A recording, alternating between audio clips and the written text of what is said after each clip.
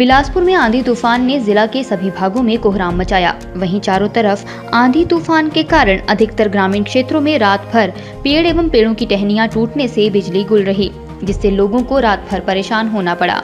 वहीं इससे बिलासपुर क्षेत्रीय अस्पताल परिसर भी अछूता नहीं रहा। बिलासपुर क्षेत्रीय अस्पताल परिसर में पेड़ गिर गए।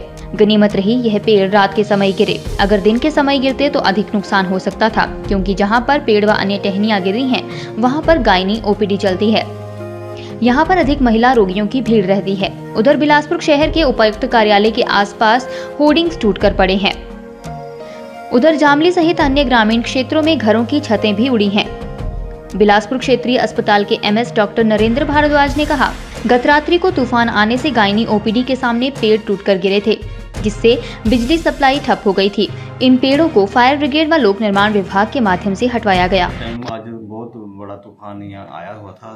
तो जैसे हम सुबह साढ़े नौ बजे ड्यूटी पे आए तो मैंने देखा कि हमारी जो गायनी वो पीढ़ी है, इसके सामने एक पेड़ जो है, वो गिरा हुआ है। तो वहाँ एक हमारी एंबुलेंस एक सौ आठ खड़ी हुई थी, जो कि मतलब पहले से ही मतलब खराब हालत में ऑफ़ द रोड है वो। तो उसके ऊपर गिरा हुआ था, पेड़ बाकी थोड़ा वो तारों के ऊपर भी उलझा हुआ था, जिससे हमारी बिजली सप्लाई भी इंटरप्टेड हो चुकी थी। तो मैंने फिर अपने इनको फ़ोन किया, जैसे फायर वालों को फ़ोन किया तो उनकी टीम भी आ गई पीडब्ल्यू वाले भी आ गए तो उन्होंने अपने जे जेसीबी लगा के जो है तो उसको, बंदों को उस जेसी के ऊपर चढ़ के, उसको काटा, उसे टहनियाँ काट के, उनको सारा अलग करके जो है, अब जो बिजली वाले उन बिजली को मेंटेन करने में लगे हुए हैं। हिमाचल दस्तक वेब टीवी के लिए बिलासपुर से अनूप शर्मा।